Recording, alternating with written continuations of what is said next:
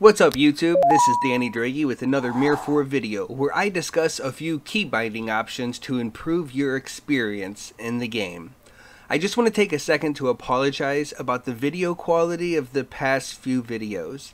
Running two clients, I try to conserve as much RAM and memory as possible for web browsing, streaming, and video editing, so I always have the graphical settings to a minimum.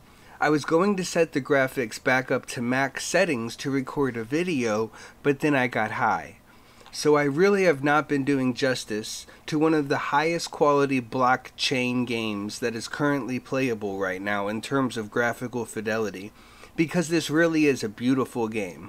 The default setup has you using abilities with 1 through 6, I personally hate this layout due to how much you have to stretch your hands. Also, having to take your hand off your movement keys in order to use abilities, or your eyes off of the screen to make sure you're hitting the right key can mean the difference between life or death. Unfortunately, I can't find any keys to my mouse buttons, which is strange for an MMO.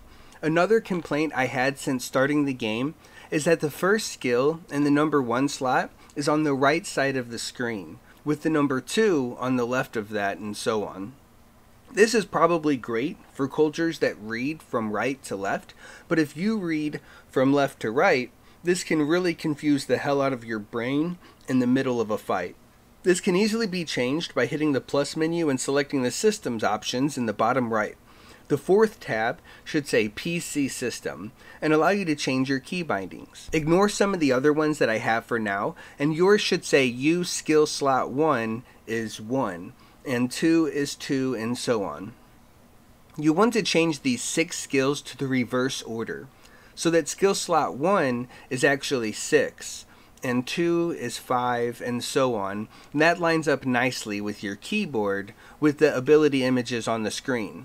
Now, you could call it a day there, subscribe to the channel and like the video, but if you want to get down and dirty, and I mean really nasty with the customization, we can go a bit farther. Just remember our safe word at the top right of the screen is reset. At the time of recording this, I wasn't sure what to do with the bounce for airwalk and default attack, but after practicing with the new ability layout, I went with the N key for Nancy for bounce, and left alt for attack. I wanted all of my abilities as close as possible to my movement keys for comfort because I'm lazy as fuck, so I mapped the Q and the E abilities to my heals on one bar and quells on another to set up my bash combos. The reason why it's E and Q instead of Q and E is so that the Q ability will be on the left and the E ability will be on the right which corresponds with the Q and the E key on your keyboard. Next I have R and F for the third and fourth ability.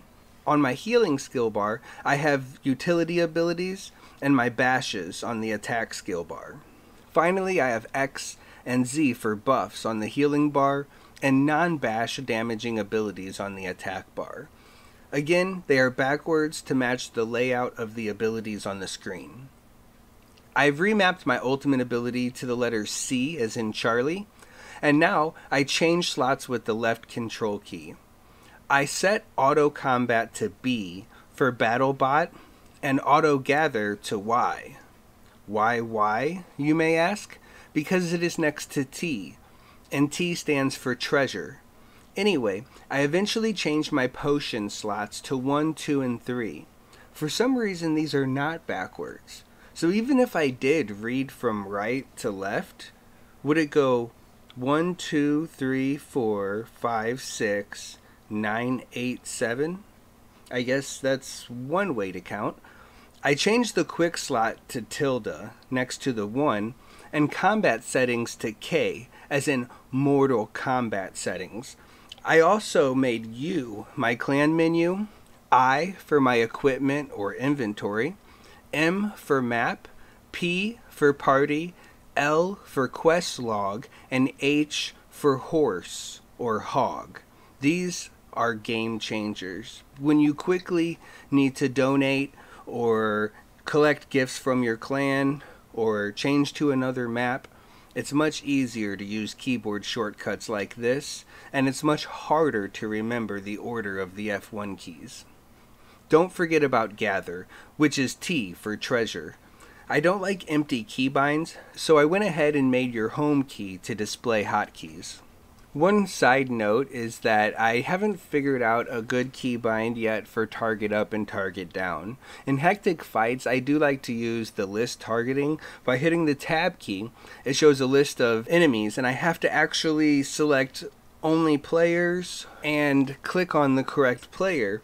But it would be much easier if I could develop a system where I could quickly scroll up and down through the list and then execute my abilities or auto attack on the correct targets. It would be perfect if I could put these on my mouse keys like I said before. Hopefully I could figure something else to do with my left hand in order to change those targets. Well, those are all the tips I have on keybinds. It will take a few days to get adjusted to this crazy new system depending on how long you have been playing, but I can assure you that your left hand will thank me once you do.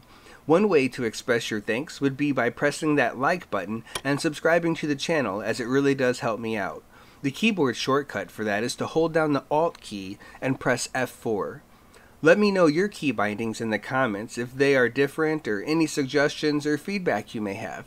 Thank you for watching this video, YouTube. I believe in miracles. You sexy thing.